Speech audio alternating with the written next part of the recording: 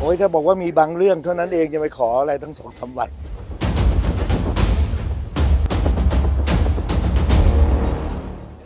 ก็ดีครับก็ก็เป็นสิทธิฝ่ายค้านนะครับผมว่าถ้ามีเรื่องไม่เข้าใจแล้วก็ไม่สบายใจอะไร หรือว่ามีเรื่องที่เห็นต่างยังไงก็ก็ใช้เวทีนี้ในการคุยกันได้เลย เพราะว่ารัฐบาลก็พร้อมจะชี้แจงทั้งหมดอยู่แล้วภายใต้เงื่อนไขที่เห็นเนี่ยแหละครับว่าเราเข้ามา 6 เดือน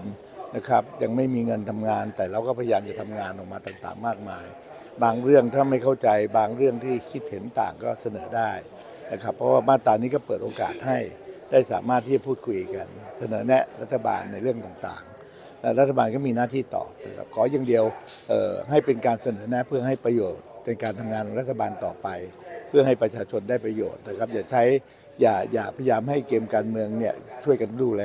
อย่าให้มันเป็นเกมการเมืองที่เอามาเพื่อจะเอ่อสร้างความนิยมทางการเมือง หรือว่าไปไปคัดค้านในทุก ๆ เรื่องให้เป็นปัญหาเอ่อเราจะได้ไม่เสียเวลาในการพูดคุยกัน รัฐบาลพร้อมทุกเรื่องครับฝ่ายค้านตัวเองก็มองว่า 6 เดือนแม้จะยังไม่ได้ใช้งบ แต่ว่าถ้าคนจะโกงหรือว่าทุจริตก็สามารถทำได้อยู่ก็อยู่ที่ข้อเท็จจริงอะครับเอ่อเอาข้อเท็จจริงมาพูด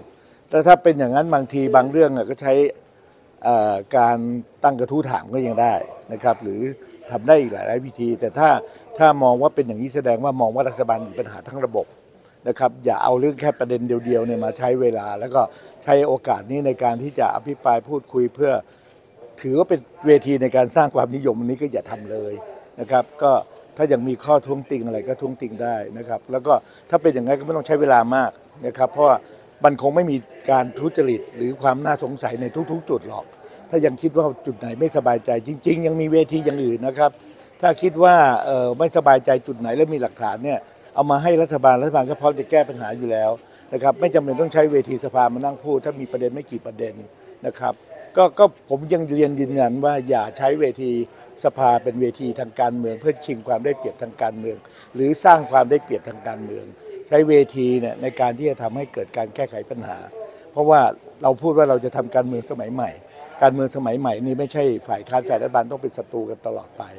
การเมืองสมัยใหม่ก็เป็นการเมืองที่ต้องดึงสองฝ่ายมาช่วยกันทำให้เกิดประโยชน์ประเทศชาติ รัฐบาลได้รับอนัตจากประชาชนมีหน้าที่มาทำงาน ฝ่ายค้านมีหน้าที่ในการตรวจสอบ ก็ดำเนินการตรวจสอบอย่างที่เห็นว่าตรงไหนมีประเด็นปัญหาแล้วจะต้องตรวจสอบก็ตรวจสอบนะครับ แต่ว่าอย่าคิดว่านี่จะหมดเวลาแล้วเหลืออีกไม่กี่นาทีนะไม่กี่ไม่กี่วัน แล้วก็คิดว่าไหนๆก็ไหนๆก็อยากจะใช้เวลาเนี้ย ได้ใช้โอกาสในการที่พูดคุย ไม่ว่าจะเป็นการฝึกฝนนะครับคนของตัวเองไม่ว่าจะเป็นการใช้เวทีนี้ ในการที่แสดงออกทางการเมืองเพื่อออสร้างความนิยมทางการเมือง เพราะว่าถ้าทำอย่างนั้นมากเกินไปอะมันจะทำให้การทำงานสะดุดและมีปัญหาและก็เสียประโยชน์ ให้ประชาชนเขาได้ใช้เวลาและใช้เวทีนี้ได้ดูการทำงานทั้งสองฝ่ายให้เต็มที่นะครับ บนความคิดที่สร้างสรรค์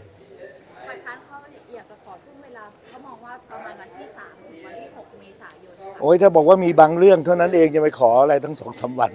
นะครับเอ่อถ้าคิดว่ามันมีเรื่องเยอะๆอะเป็นเรื่องที่ทุจริตอะไรเนี่ยมันยังไม่ใช่เวทีนี่ ก็บอกว่ามีเวทีว่าถึงแม้จะไม่ได้ทำงาน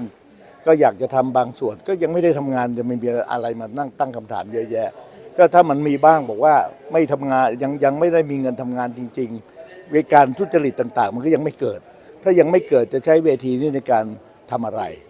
นะครับ จะขอไปสามวันทำอะไร นะครับ ก็เอาตามความเป็นจริงอะมีปัญหาอยู่ที่กระทรวงไหน มีความชัดเจนตรงไหนเอาตรงนั้นเลย พูดเข้าสู่ประเด็นไม่ต้องอภิปรายเยอะเยอะ ไม่ต้องนั่งอภิปรายลากยาวขึ้นมาแล้วก็พูดบางอย่างก็ซ้ำเรื่องเดิม บางอย่างก็สร้างประเด็นใหม่ โดยที่ยังไม่รู้ว่าข้อเท็จจริงจะเป็นยังไง ผมว่าถ้าวันนี้รัฐบาลเริ่มต้นทำงานมามีเงินใช้ตั้งแต่ต้นเนี่ยมาถึงตรงนี้แล้วมีข้อบกพร่องตรงไหนก็เอาจะเอาสามวันสี่วันห้าวันหกวันยังได้เลย แต่ในเมื่อยังไม่ได้ทำงานที่ไป